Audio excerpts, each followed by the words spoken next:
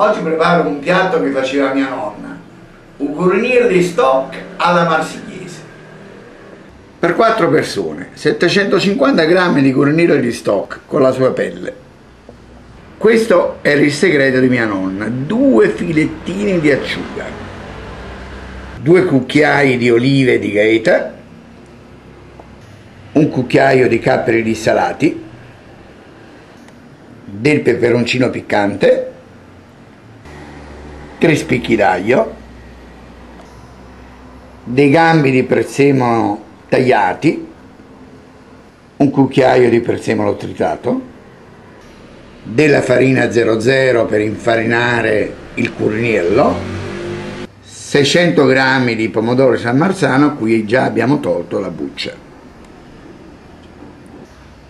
almeno 6 cucchiai di olio d'oliva extravergine. Come prima operazione asciugate ben bene i pezzi di curiniello, così. Passateli nella farina, deve rimanere soltanto un melo di farina, eh?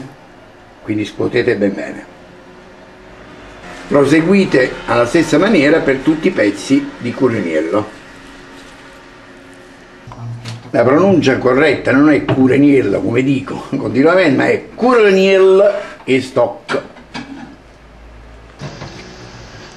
La farina è importante, ora secondo mia nonna serviva proprio ad aiutare anche a fare una sorta di crema insieme al pomodoro, quindi un cureniello viene bello morbido morbido. Ecco, Ugoloniello è pronto per essere impacchettato, per essere sigillato nell'olio. In una padella grande e capace mettete il fondo d'olio e quindi sempre a freddo sia l'aglio che i pezzi di peperoncino. Iniziate a riscaldare l'olio. Oh, quando l'olio è sufficientemente caldo iniziate a mettere uguranil dal lato della pelle che va proprio sull'olio.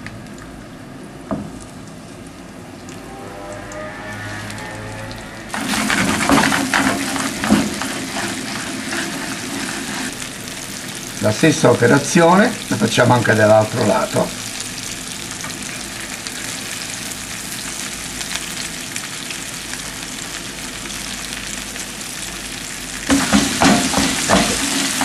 fate questa operazione per non far attaccare sul fondo lasciare tutto morbido. No, questa operazione di sigillatura la facciamo durare circa 4-5 minuti non di più. Ecco il curinello ormai sigillato. Togliete la pentola dal fuoco prendete un uranello e mettetelo da parte.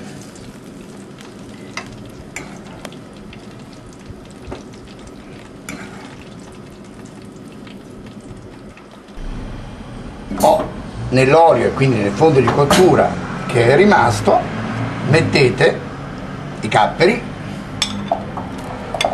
le olive di gaeta i filetti di acciuga e poi i gambi di prezzemolo a tocchetti. Rimettete la padella sul fuoco.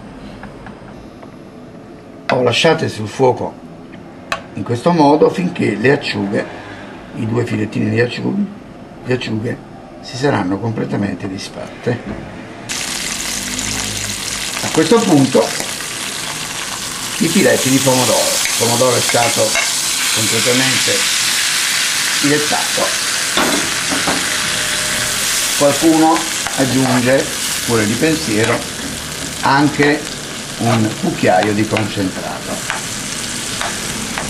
Lasciamo che questo sugo cuocia per almeno una decina di minuti. Oh, per la salatura appena un po' di sale sul nostro currinillo e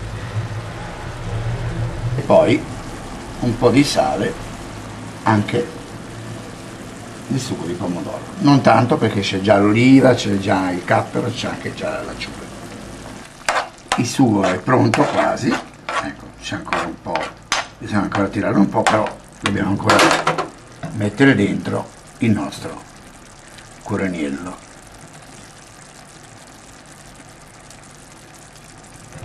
O in questa fase tenete la fiamma al minimo e irrorate continuamente il vostro curaniello, i vostri pezzi di curaniello col sugo.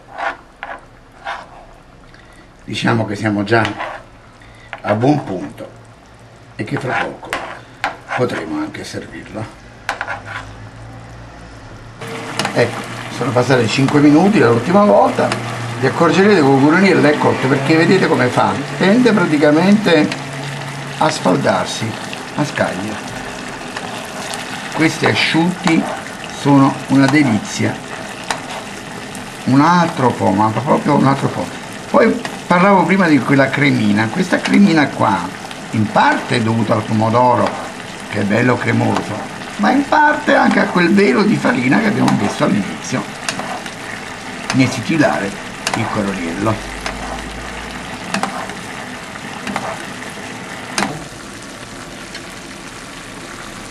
ecco è pronto? Il nostro burronio una puzzata di prezzemolo fresco. Spegniamo la fiamma. E tutti a tavola. E buon appetito